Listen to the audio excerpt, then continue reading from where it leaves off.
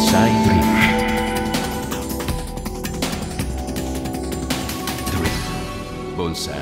Dream. Hello everyone and welcome to my YouTube channel. Thank you so much for following me and I'm glad uh, you love my video and please uh, share them on your social media. Today I'm in my workshop in Feltre and uh, with my student Christian we're gonna work uh, on this uh, massive cypress, Cupressus sempervirens.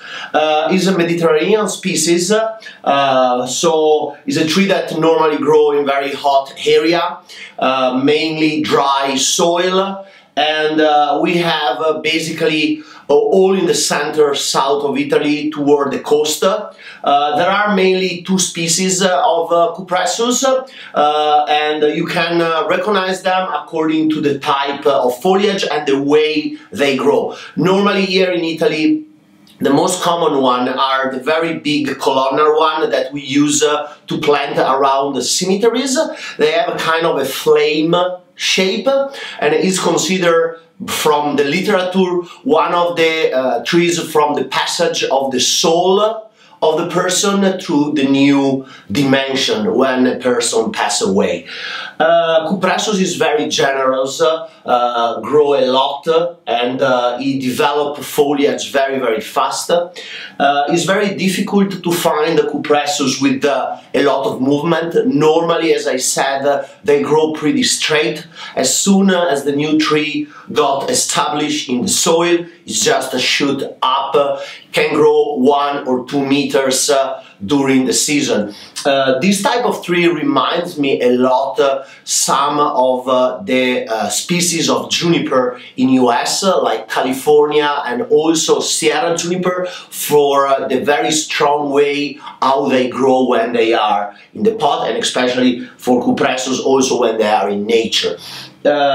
It's pretty difficult to collect them because they have a very fine root mass with some big big roots that we have to cut. So there are periods uh, that are better like spring to be able to collect uh, these pieces and get success. But uh, about the aftercare we just need to cut uh, everything is not uh, necessary. And most of the time we are able to rebuild uh, completely the foliage of the tree just starting with some uh, originally little branch. So probably this was a very big tree originally that was chopped uh, off uh, here. And the lower branches became strong enough. And now it's time to work on the tree the side I'm gonna use for the front uh, will be this one because we have a little bit of movement thanks uh, to this uh, shari and some of the live line that the tree create uh, uh, starting from the roots. So the idea is uh, first of all to solve the situation on the top where I have this flat cut. So what I'm gonna do, I'm gonna use a big drill, drill some holes into the wood so I get the inner part uh, hollow and then using a bark stripper I'm gonna break the wood and create kind of a multiple jin on the top so I can solve uh, that area. And probably I will try also to connect uh, the jin I will create in the top with some of the shari in the lower part of the trunk. I have also to solve a little bit this big root that was cut when the tree was collected so I will probably open up this part a little bit more and create another shari so I can have in the future nice live line here and another here connected to the branches. I have already kind of the tree laying to the right side, so I will use uh, probably this branch going down. The branches uh, of uh, uh, Cupressus are very flexible, so we can manipulate them a lot. We have always to be careful, obviously, on positioning the wire because uh, differently from other conifers like pine, Cupressus doesn't have a big uh, and thick uh, bark.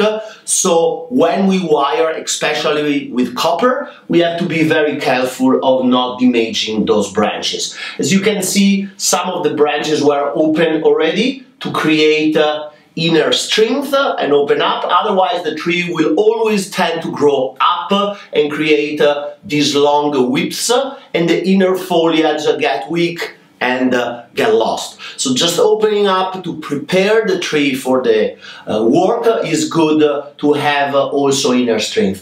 We're gonna anyway clean a lot of the vegetation and uh, use uh, the strong one to start creating uh, the shape and kind of the bones for the future bonsai. So I would like to accentuate a little bit this laying to the right creating more movement uh, using those branches uh, here and uh, be a little bit more compact in the left side. I have a good substitution of the apex uh, with the two branches here. I will probably bend one around the jin to fill this negative space and uh, I will use the dominant uh, to recreate kind of the new trunk line up to this branch. In the future, we're gonna let this branch grow a little bit to thick up, to create more live line and also to recreate a better trunk taper up to the top. So let's go to the work.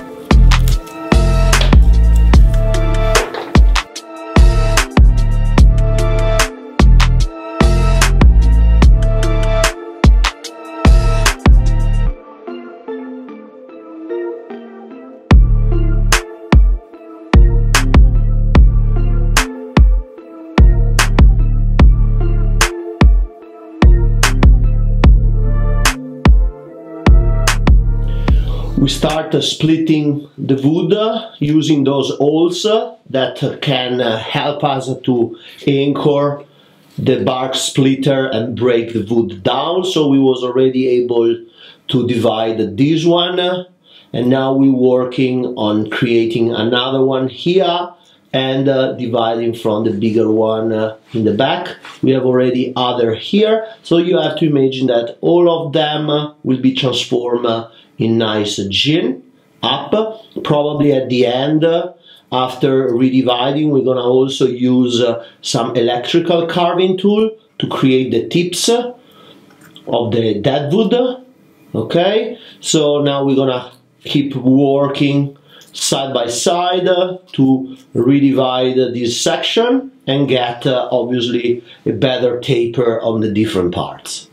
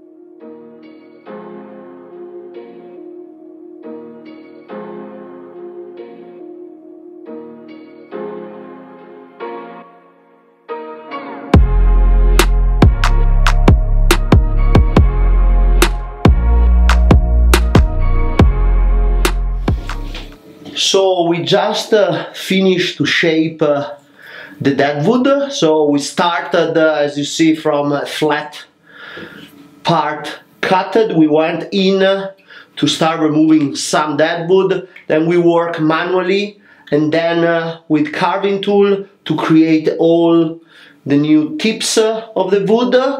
So now we got uh, some interesting feature on this part uh, for the transition from the main trunk uh, to the dead wood that will be kind of uh, on the top of the tree. And now the next step will be protect the green and uh, fire the entire part to remove uh, the marks of uh, the electrical carving tool, brush it, and then we'll be good to go to the next part of the work.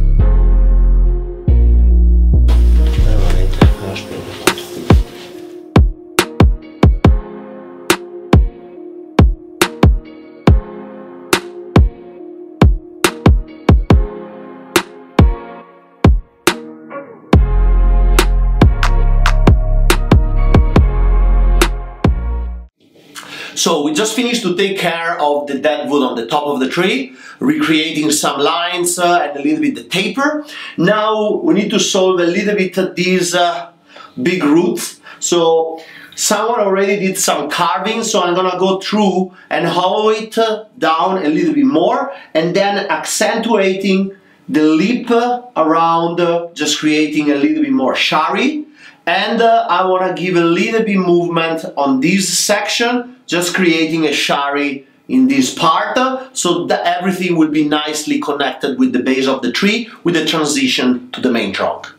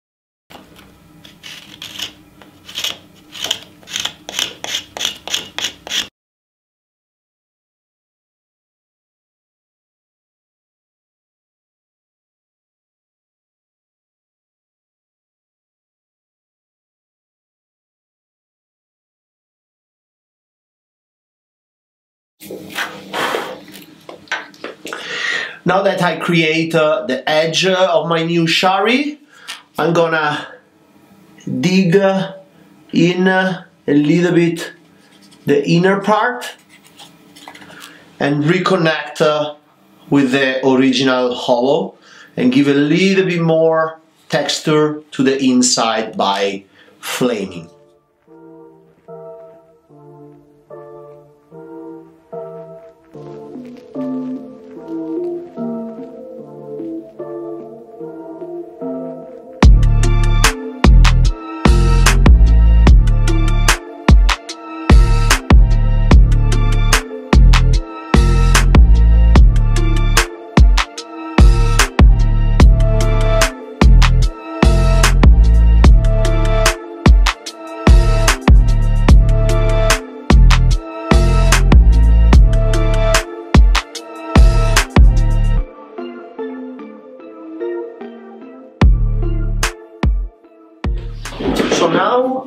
Last work uh, we have to do to create a nice connection between uh, the base of the tree with this nice uh, shari and uh, the top uh, that we're gonna recreate using some of these lines will be reconnect uh, the original jin here, that the one that we first did, down in the center of the tree. This will also help us to uh, create a better transition. Also connecting this shari up to the top will create a better taper line of the trunk. So we're gonna go in here, following down the line, moving a little bit and reconnect it in the center of the shari. And this will help the transition from uh, the lower part to the upper part.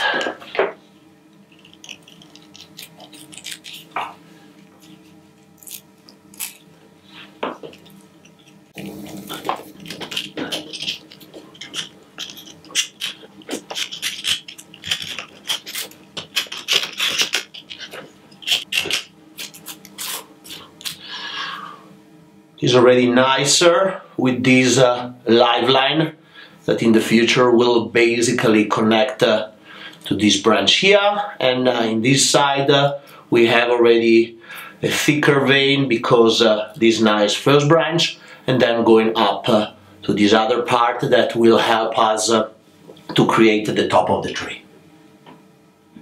As all the Cupressaceae family, also Cupressus sempervirens has the tendency of growing a lot from the armpit. So before wiring, what we have to do, as uh, I do for all the junipers, I clean uh, all the excess of branches uh, in the same spots to just have uh, eventually two coming from the same spot that I can use uh, to start creating uh, the new foliage and the new pads.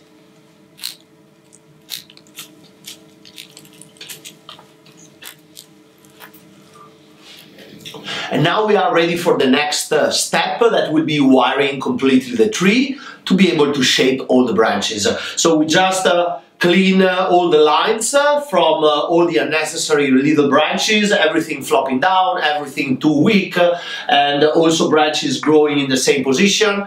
Uh, I also put uh, cut paste along uh, all the edges uh, of the new shari and jin that we did so we avoid uh, loss of moisture from the live line and in spring the tree can recover and start growing properly. So let's put some uh, structural wire and wire all the branches.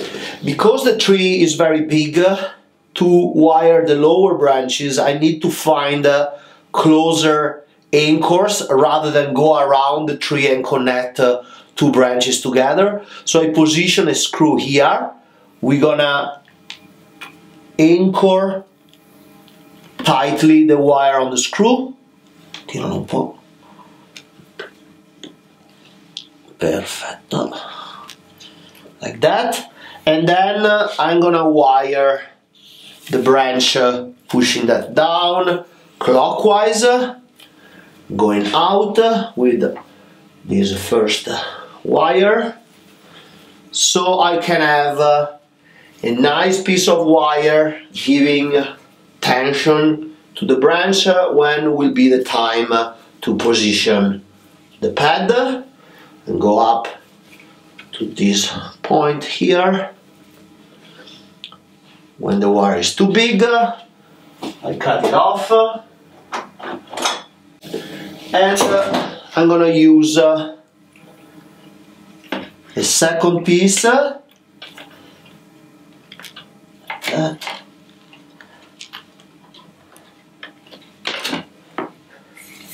and follow up so I can give a little bit more strength to the first section and uh, go up to this uh, second side branch. And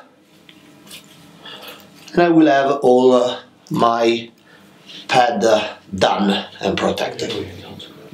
So now that we start having some branches completely wired, I'm gonna start from uh, the right uh, lower branch, guy wire, go down in the position, open the structure and then create uh, my pad and then I will work my way following the wiring of uh, Christian.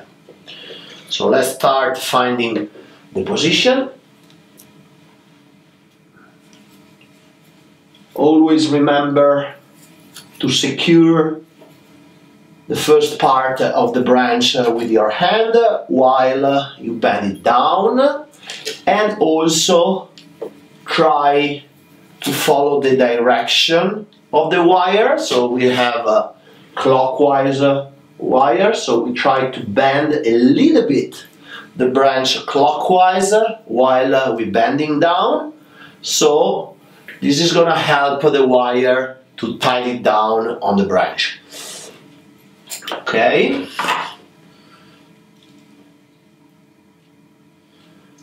We can force uh, a little bit more here. Always careful. The first section go down a little bit more. The fiber of the branch will stretch also here we are perfect now the branch getting in position.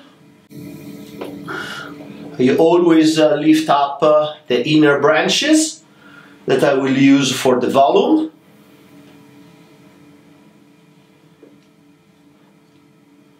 Now I can start positioning the other branches.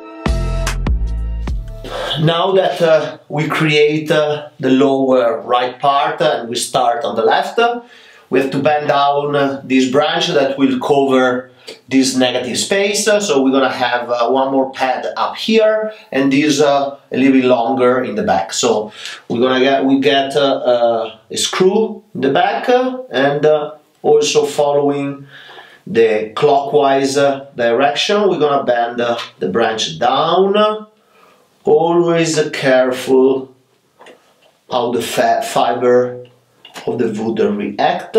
Christian is tightening the guy wire for me. So we can go down, maybe a little bit more. Okay, so we gave a nice uh, direction to the branch. Now we can reopen the pad in this position. So we can eventually go a little bit more, always taking care of this section here, where eventually the fiber that they will extend can start the image. But if we are careful enough, the band will go pretty well. Here we are. Perfect. Now that uh, the lower part of the tree is done, we're gonna work uh, at the central one. We have uh, these two branches. So we're gonna move the branches back and come forward, creating the connection between the lower branches and uh, what will be our apex.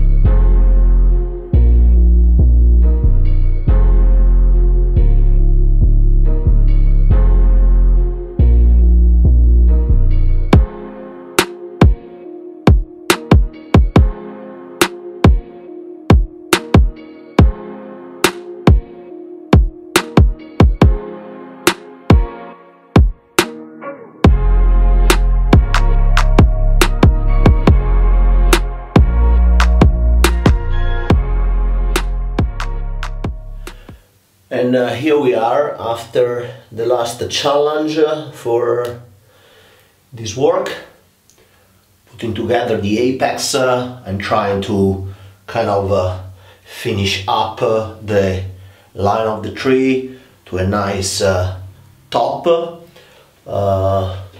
was able to rebuild the line coming up from the front and use a sideline to accentuate uh, a little bit the movement uh, and uh, fill also the spaces. now I'm just taking care of the last few little branches I want to open up and then in spring they will bud strongly and start filling the spaces. So just few little detail always uh, make the final difference on a work, uh, always checking on the lines, uh, having everything nice and clean. Uh, it's very, very important uh, for a professional worker. Voila, a beautiful formal Cupressus sempervirens. I'm very happy about the final result. Nice, strong formal tree, upright formal tree with nice pad, good lines, good proportion nice trunk. I was happy to kind of be able to solve the challenge of the top that originally was cut when the tree was collected. So I had to, uh, with the help of Christian, my student, uh, rework on the deadwood and then recreate uh, the line of the tree using a frontal branch. Now the tree can grow in the uh, cold frame, it's a Mediterranean tree, so I have to protect during winter because I live in the middle of the mountain and then next year start uh, kind of building uh, a little bit of volume on the pad and get the tree maturing, setting the structure and uh, getting into the next level. Thank you so much for following me. See you at the next. Bonsai.